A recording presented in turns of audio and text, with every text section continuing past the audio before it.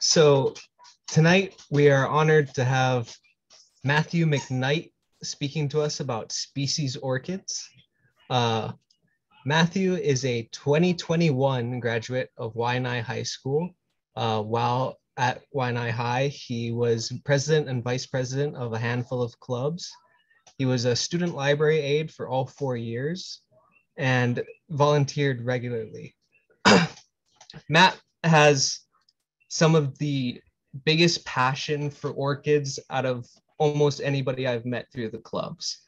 Uh, he's constantly looking them up. You know, I follow him on Instagram, and every, almost every day I can expect a, a repost from Matt of, of, somebody else's orchids or his orchids.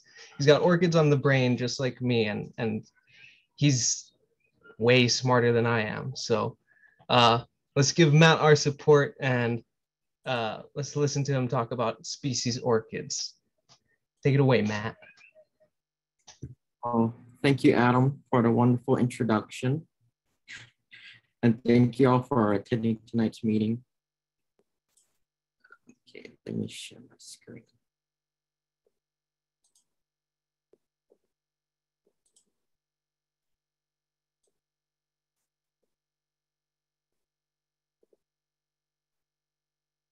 I hope y'all can see that. Brad, can you see it? Yes. Okay.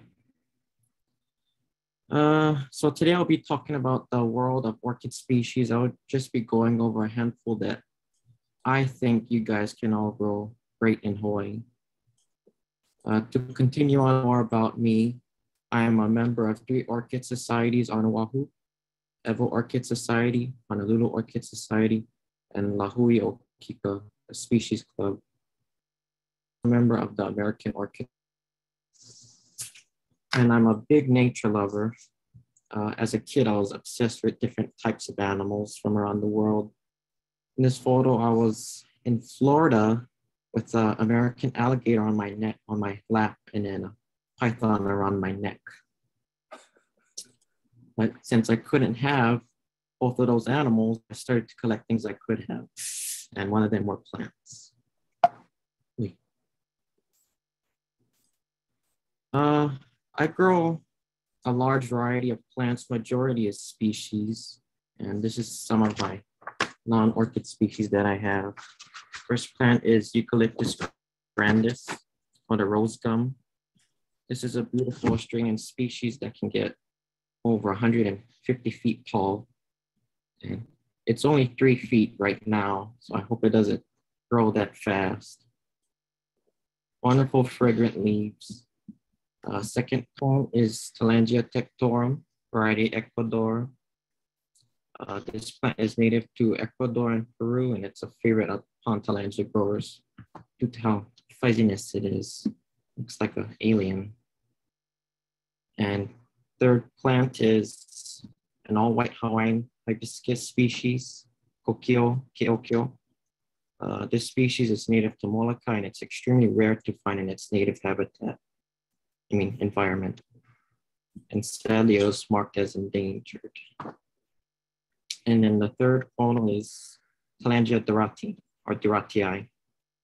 It's a beautiful species native to Brazil. And it's a favorite upon Tillandsia growers as well to how big it gets.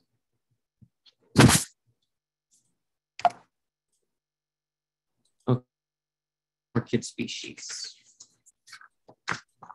Uh, first plant I'll be talking about is Dendrobium discolor.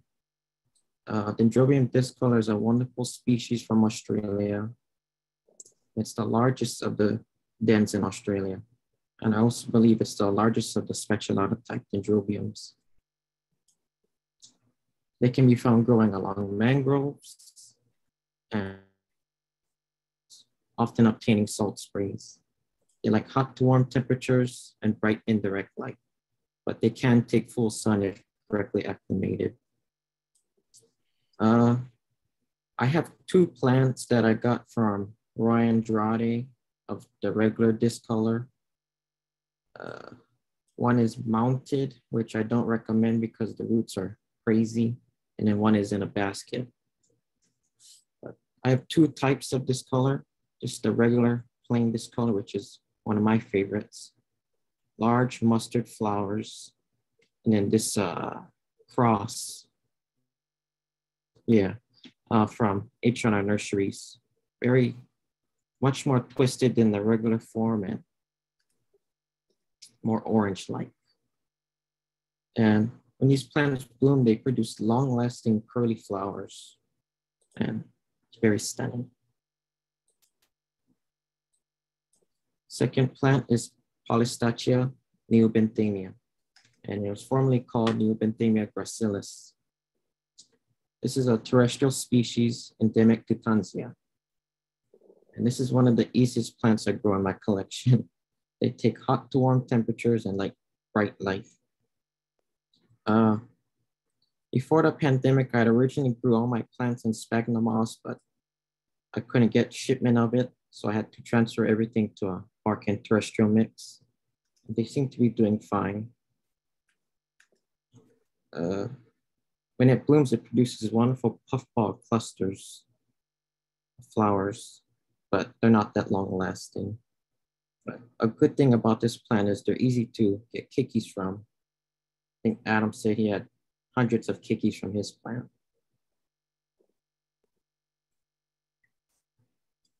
Next is Dendrobium bracteosum. This is a beautiful species indigenous to New Guinea. They like warm temperatures and bright indirect light.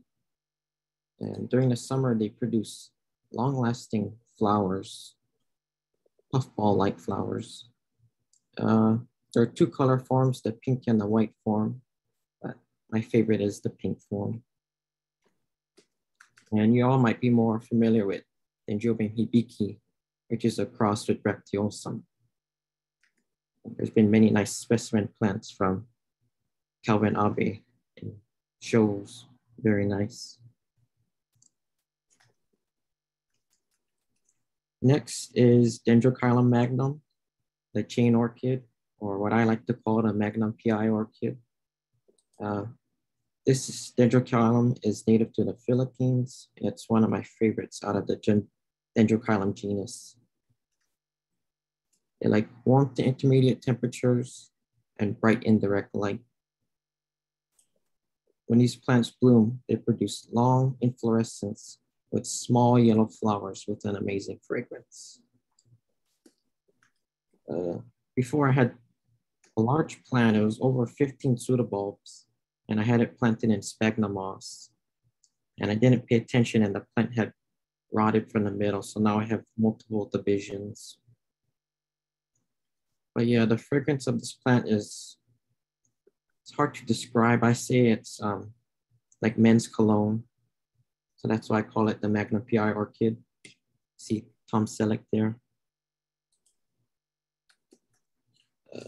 Next is Grammatophyllum stapeliiflorum, formerly Grammangis stapeliiflorum. This species is found in Malaysia, Sumatra, Java, and the Philippines. Uh, my plant is quite large. It's in a 10 inch basket and it obtains hot to warm temperatures and bright indirect light. I don't give it as much light as my other grammatophyllums, but this species is rarely seen in cultivation nowadays. So if you see one, you need to get it. And we can't forget about Milwaukee's plant that received a CCM at the 2019, 2019 Air Orchid Show. I'm jealous. I only had two spikes on mine and I can't count how many spikes he had. But very stunning. Next is Dendrobium polytrichum. This is another stunning species from the Philippines and it's very easy to grow. They like hot temperatures and bright light. These plants can bloom multiple times a year with fragrant blooms, but they're very short-lived, only lasting a few days or less. And I originally got this plant from Kawamoto Orchid Nurseries a few years ago, and I really recommend it in your collection. And it likes to be mounted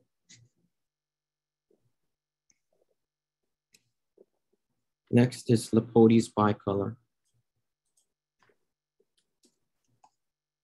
I skipped the page. No, I didn't. Oh. Sorry, Liparis grossa. Uh, but this Liparis is found in Myanmar and the Philippines. Uh, it's a very easy plant to grow. It likes warm temperatures and bright light. And these very these plants are very compact and are easy to get divisions from. At one point, I had over seven divisions, but I had to get rid of them. I need more space. But yeah, they're very easy to grow in. I don't know if anybody can detect the fragrance from this plant, but I detect a light scent of asparagus. I don't know if anybody else can, but probably my broken nose. and next is Leptotes bicolor. This cute little miniature is native to Brazil. They like warm temperatures and bright indirect light. Uh, the foliage of this plant is very succulent-like in my opinion, they do best mounted because it hangs over like that. But I have my plants mounted on cork and they like to dry out and they love water. And another cool thing I found out about this plant a few years ago is uh, the seed pods can be used as a vanilla flavoring, just like the genus vanilla. I never did try pollinating, so maybe I'll try that when it blooms. Next is Polystachya paniculata. This is a beautiful species found growing in the rainforest in Africa. They like hot to warm temperatures and bright light. I have my paniculatas growing in a, a fast draining bark mix, and I originally had them in sphagnum moss, but I was keeping them too wet. I guess they're pretty drought tolerant or something, I don't know. I haven't had them much. I had them for only a year or so, and I got them from Carmela Orchids as plugs. But they bloom nice, and the flowers are very tiny, the size of a grain of rice.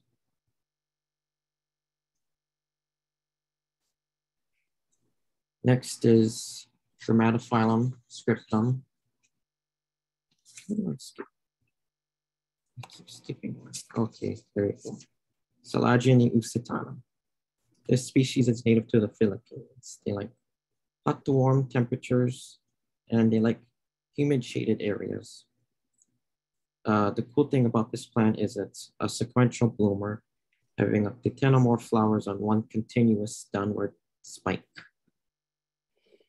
Uh, like most Salagines, this plant likes to dry out. And I had originally had it in sphagnum moss and it wasn't doing good. So I have to transfer it to a bark mix. Okay, next is Grammatophyllum scriptum. Uh, this is a species found in Borneo, New Guinea, and the Philippines. This plant likes hot to warm temperatures and bright light, and it's able to take full sun if correctly acclimated. Uh, plants of this species can get quite large my plant is over 100, 100 pounds and probably more since I have it planted in cinders. But the cool thing about this plant is the inflorescence can get over three feet tall and have very long lasting flowers. But I recommend this to everybody if they want to get it. Um, I recommend you putting it in a basket with a lightweight mix so you don't hurt your back like how I did trying to move it. Next is Dendrobium faciferum. this species is found in the lesser Sunda Islands, Moluccas, and Sulawesi.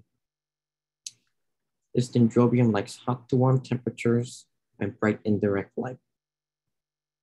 Uh, when this plant blooms, it produces wonderful small firecracker red flowers. And it's very similar growth habit uh, to the pigeon orchid. Forget the species name. But I had originally obtained this plant from Adam Almeida last year, and it's one of my favorites. Next is Anathallis ceteroides. I have a difficult time saying the species name. Uh, this is a miniature that was formerly a Pleurothallis, but they changed it recently. It's found in Jamaica, Guatemala, and Mexico. It likes intermediate to warm temperatures and humid shaded environments.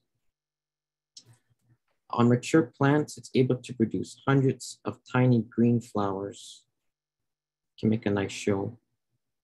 And I have this plant mounted on a piece of pu'u, and I originally purchased it from Kawamoto Orchid Nurseries over five years ago. It's looking kind of bad right now because uh, the plant covers the whole mount. And I was only watering one side of the mount, and the other side wasn't getting water. So the other side had a problem with spider mites, but it's finally coming back after a year or so. Next is Vanda garayi. this species was formerly Ascocentrum garayi. And it's an adorable vivacious species found in Thailand and Vietnam. They enjoy uh, hot to warm temperatures and bright indirect light. They also like very good airflow and love water. So I have my plants mounted on pieces of hapu'u. And the funny thing of when I got this plant, I got it from Olomana Orchids a few years ago, and the owner said, you can take them. He said he hates them all. I don't know why he hates them, but very nice plants. Very cool species. Uh, next is Dendrobium jansenum. this is another species native to the Philippines. They grow in hot to warm temperatures and like bright light. Uh, they have a pendulous growth habit, so it's best to have this plant mounted. And this, this dendrobium is not that good of a bloomer, but when it does, it produces wonderful fragrant flowers. It smells kind of like soap very nice terete leaves. Uh, and I have this plant mounted on a piece of hapu and it likes, seems to like it on there. And I originally gotten it from Kawamoto Orchid Nursery. And I think they still have plants like this. So if you want one, it's there. Next is Acriopsis liliifolia. This plant is found in Thailand, Malaysia, Indonesia, and the Philippines. They enjoy hot, I mean, warm temperatures and likes to dry out. Uh, and they can bloom multiple times a year, but flowers are short-lived. But the spike on this plant is pretty long. My plant is not that big, but the spike was over, probably close to a feet long, a foot long. And they like fast draining mixes and you can mount them. I'm experimenting with mounting them but very nice plant, very cool and rarely seen in cultivation. Uh, next is Dendrobium lichenastrum, variety Crescentii. Crescentiae. Uh, this is the larger form of lichenastrum. There's a smaller form. Uh, this is a wonderful den from Australia. They like cool to hot temperatures and bright indirect light. And this is one of my favorites of the Australian species. And in its natural environment, you can find it growing in a variety of conditions, from very low light to hot, full all day sun growing on rocks. So you can imagine how hot that would be. And the plants are very compact growers and they can produce tiny flowers, many tiny flowers throughout the year. And they can make a nice show and they make a nice specimen. I'll probably be 50 when it covers that mount or older. uh, next is Angraecum eburneum, uh, commonly known as the common orchid.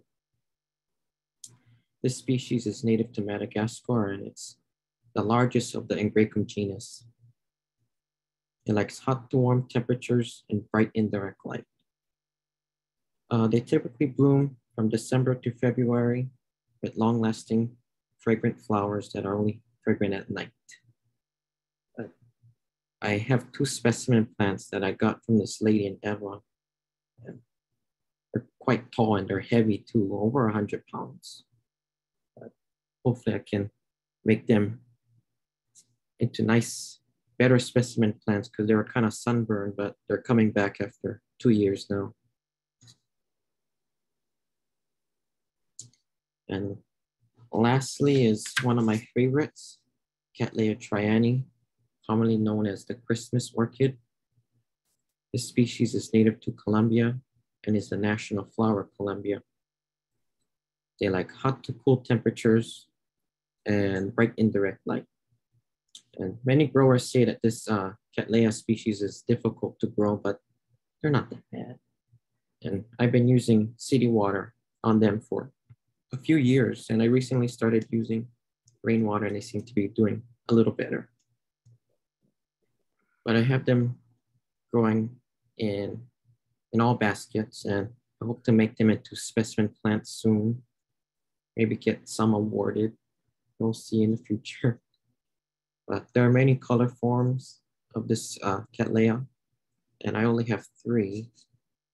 Uh, the first form is Cattleya trianae, forma rubia, Sangre de Toro.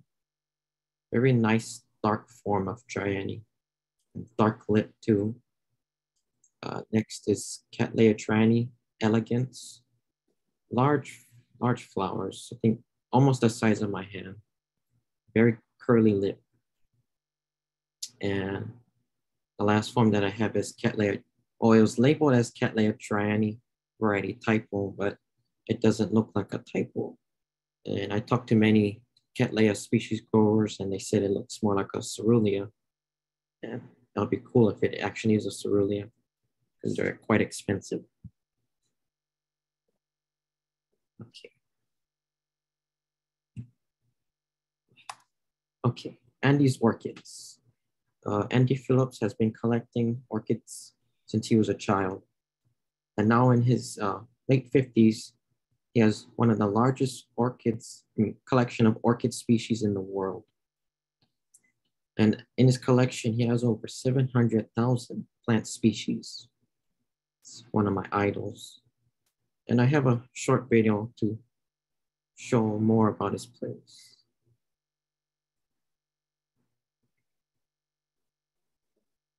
You booked a sunny Vrbo ski chalet.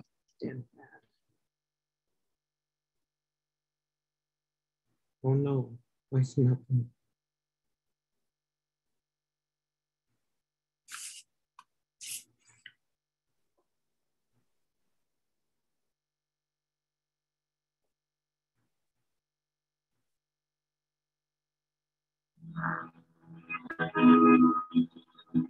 Okay, Brad, can you see that good?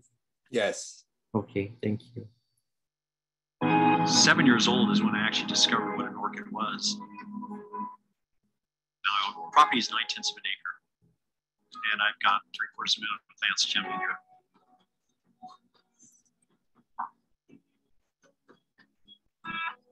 It's like being in the jungle. It's really is like being in the jungle. To my knowledge and what I've been told by taxonomists, uh, this is the largest, most diverse species collection from around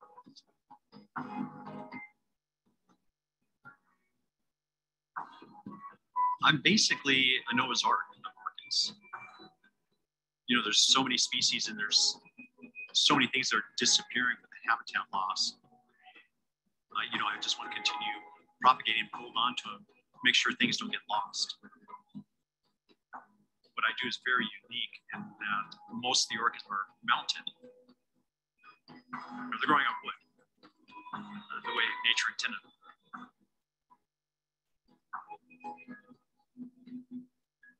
My name is Andy Phillips, and we're here at my greenhouses in Encinitas, California.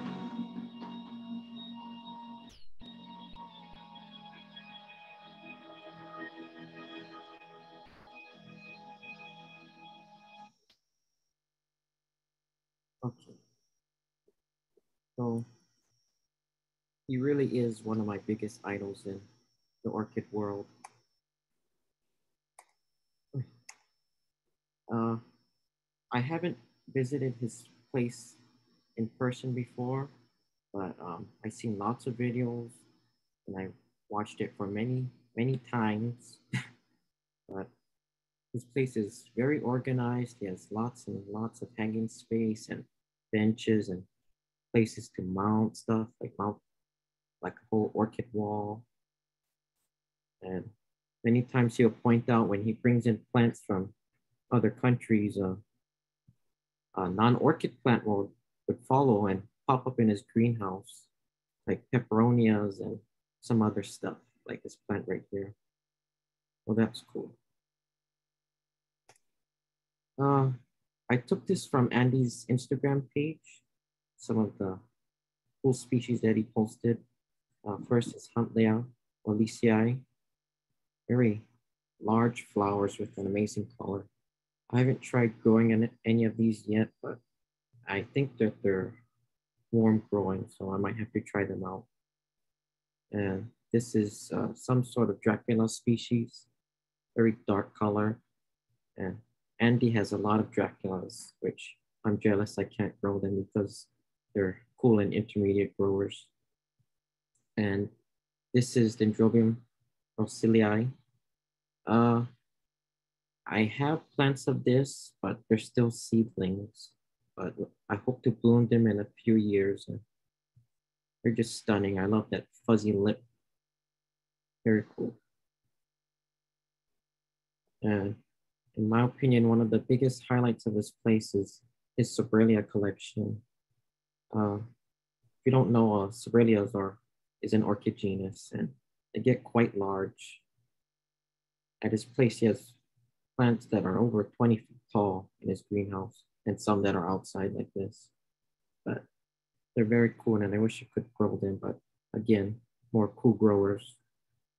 And he has a separate uh, section for his uh, and Coryanthes and Gongoras.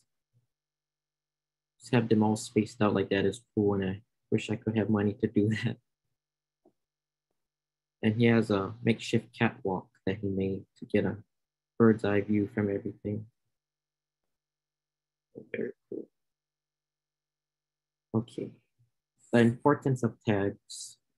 Uh, it's very important to have the name of your plant, to have its tags on it. Knowing the name of your plant will help you when you need to do research or ask about the culture of the plant. Uh, and it's also important when you're sharing divisions or cuttings. And if you know me, I'm very anal about everything having a tag, even if it's a succulent or type of palm tree species, it's going to have a tag on it or in its pot. And understanding the tags is very important as well. Uh, this is Dendrobium parishii, uh, variety Alba 4N. It's a wonderful hono hono species. And the Alba that is printed on the tag is an indication that it's the white form of parishii. And also the 4N means it's a tetraploid, so bigger flowers. And it's always important to have the correct name of your plant. Uh, this is Dendrobium Little Sweet Scent Winnie Lay. It's a beautiful Hona Hona hybrid. And this tag was incorrectly printed as Wee Wee Lay. I was cracking up at that. Uh, I don't, I tried not to use that much stuff when I'm growing, but now that I have a larger collection, that's kind of difficult to do. But some of the simple things I use is rainwater. I don't have an RO system yet because I can't afford it. and I, when I can collect rainwater, I get buckets and buckets and I try to fill up my trash cans with it. And it's free and seems to be doing wonders with my mounted plants. Uh, Nutricote, I forget what the number is, but I use it on a lot of my plants that need a winter rest, like my potted funnels. I just, I have it in a little fertilizer basket and I take it out when it's time to stop feeding.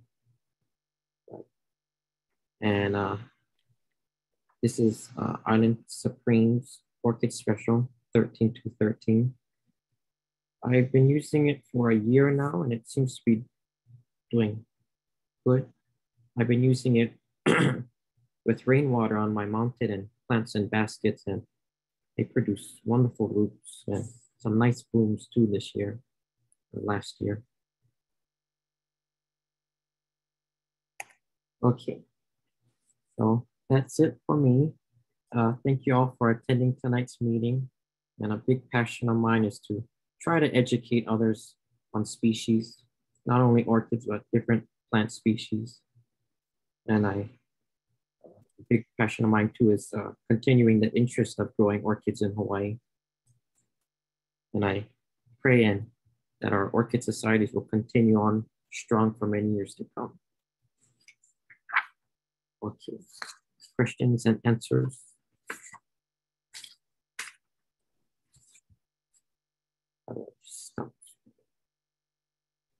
Okay, there you go. Thank you. And this is uh, one of my first presentations that I haven't done in, not in high school.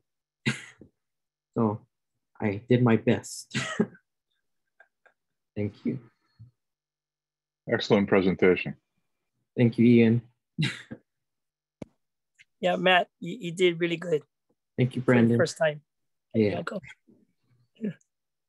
So we're going to open it up. Thank you, Matthew, for speaking tonight. We're going to open it up for questions and answers. Um, one question I have for you, Matt, is how large is your growing area? It's not that big.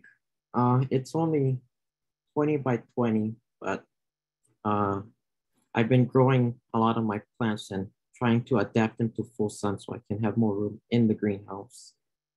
But yeah, 20 by 20 greenhouse, yeah.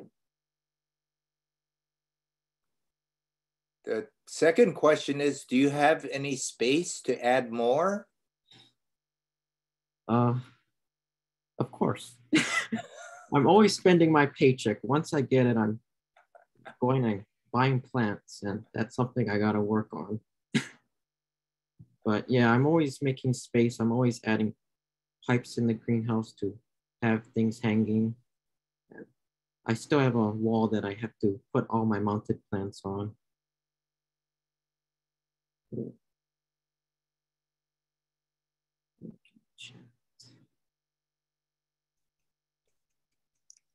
Any Matt. more questions? Yes, who is that? It's Adam. Oh, hi, Adam. Sorry. How's it, Matt? um, do you have any particular struggles growing your orchids in Waianae? Like, does the heat affect you particularly or anything like that? Yes. Uh, keeping the humidity at uh, appropriate level was difficult for me. I I added a misting system because it, things were drying out too fast and the uh, humidity was very low. But yeah, that's something I had a problem with for years and a big problem. That's why I have spider mites sometimes, but I've been spraying and stuff. Yeah.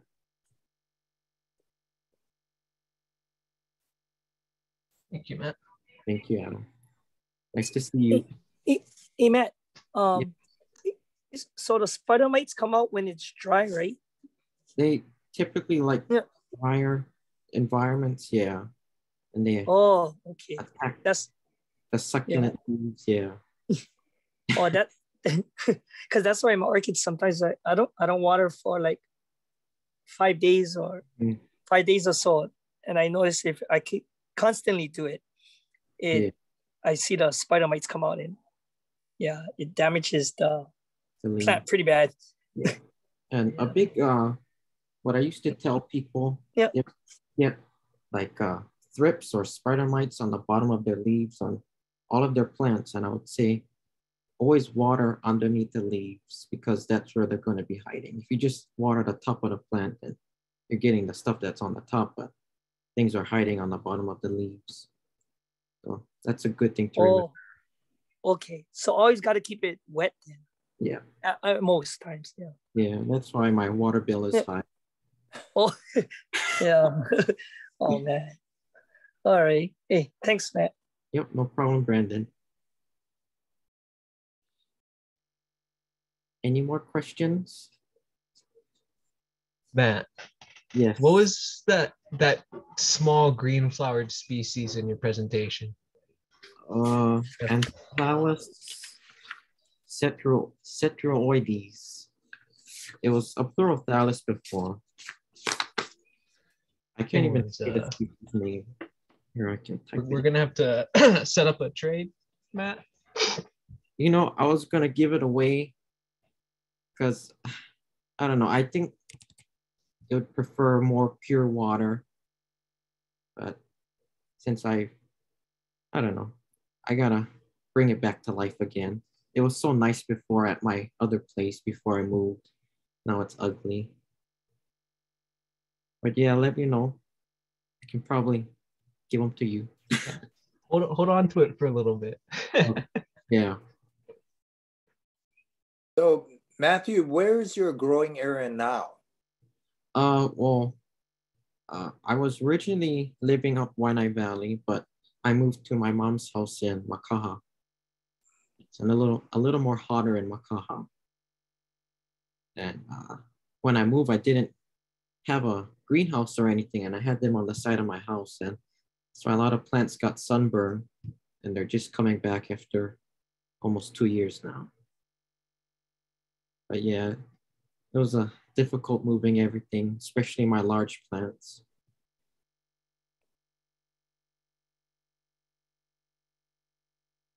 And and have you had the chance to go to Andy's Orchids in person? No, uh, hopefully when all this COVID stuff is done, I can go take a trip down there. But very amazing place, and I I'll probably want to stay there. Yeah, but very like there's species that me and Adam have never seen before. It's just so unusual to see. Yeah.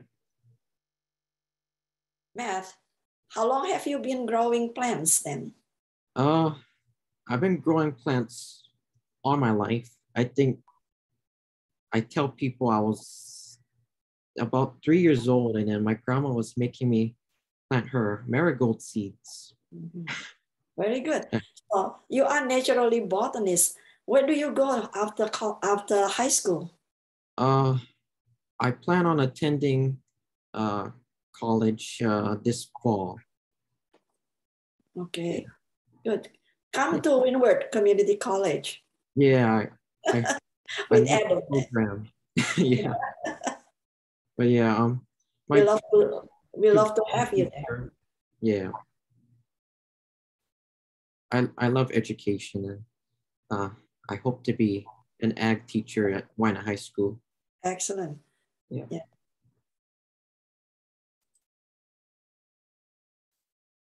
Stop buying orchids and buy an oral system. That's true.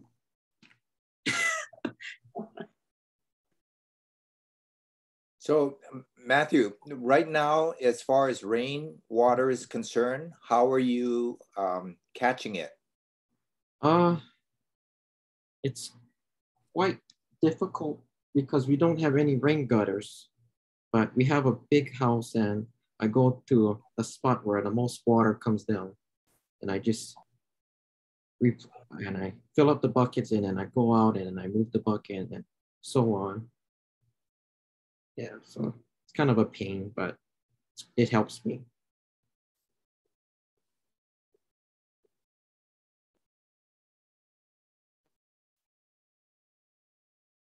I will, Sean. Thank you.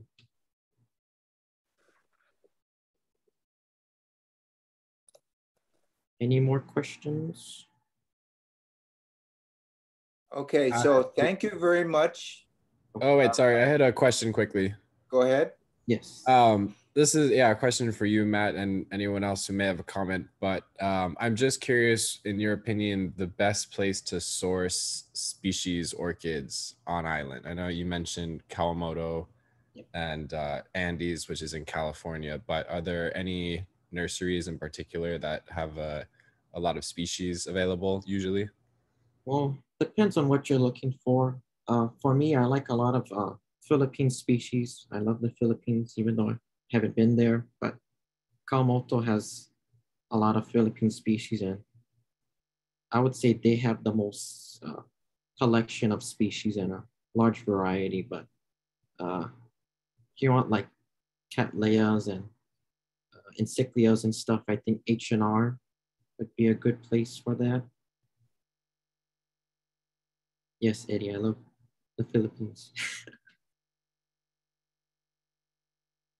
but yeah, and then you can, it's good to have a connection with other growers because they might have something that they might not have at the nurseries. And that's what I like to do. I like to have things that is not common in Hawaii and not seen at uh, in our collections.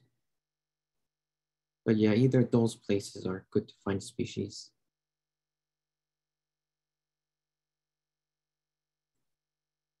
So was that was that question from Jordan? Is that right? I think so. Yeah, Jordan. Yeah. Yeah, that was me. Okay, so Jordan, it, it's um, a little bit more limited getting species orchids on Oahu. There are some good sources on both Maui and the Big Island. So you can always email me, I'll give you the list of those. Um, it's a little bit hard because not all nurseries are willing to send to individuals.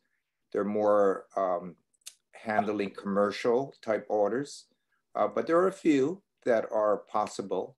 Um, and shipping is really not that bad an option to be able to get some very good species plants. Uh, and uh, there is a species club, and even though they're not having in-person uh, meetings, uh, I would think that's a good place to find a variety of species too that you can have. Yeah, like me and Jen, we're both species persons, and we like to give out cuttings and divisions and stuff.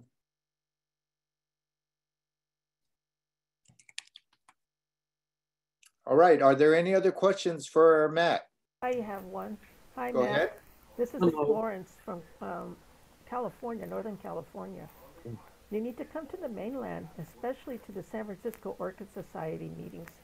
Many of the, many of the, many of the members are species aficionados, and they can teach you a whole lot of different things.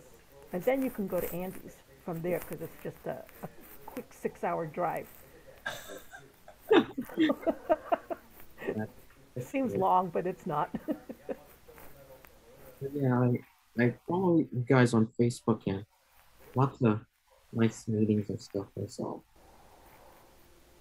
Yeah, you should uh, try to join their uh, their monthly meetings because uh, when they have their show and tell, you will see lots and lots of species.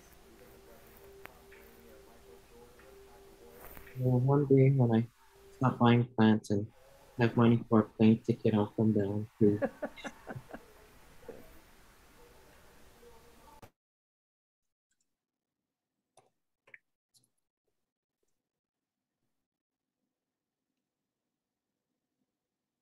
All right. Well, thank you, Matthew. It was a very spectacular um, tour through your orchid collection. Thank We you. enjoyed seeing such great variety. I noticed a lot of them are miniatures or mounted or hanging in baskets. So you're very creative with how you um, take care of your plants. Um, so quite an extensive collection for a young person. And we love to see young people involved with orchids. Such a good thing. So be sure to get your friends to join in on whatever activities we have. And, and like you said, when the Species Club hopefully gets a chance to meet in person, that's a great time to see beautiful species orchids. Uh, it's been a little while. We lost our site. We don't have the elementary schools anymore. But once schools are able to be used, we hope that we can see each other and we can see more orchids in person. So thank you very much. Now, Matthew, if you can stay on at the end of the meeting, and if people have questions, uh, they can always talk to you or ask